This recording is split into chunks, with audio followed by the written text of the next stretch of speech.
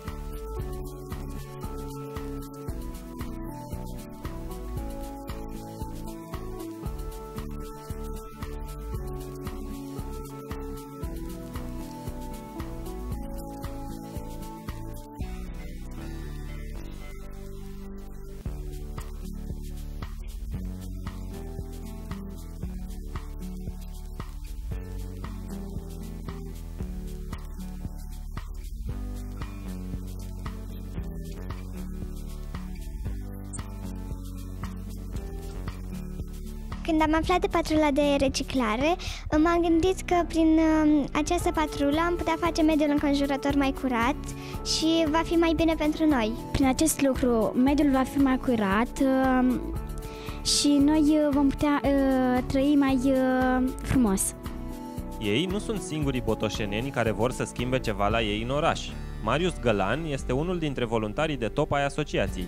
Am primit un pliant și am văzut acolo, oamenii vineau și reciclau. Și am zis să fiu și eu voluntar pentru că ajută foarte mult planeta. Întâi am crezut că e o joacă.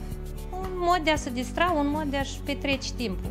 Pe urmă, în anul următor, când am văzut cât se implică și cât suflet pune, mi-am dat seama că deja e ceva mult mai serios.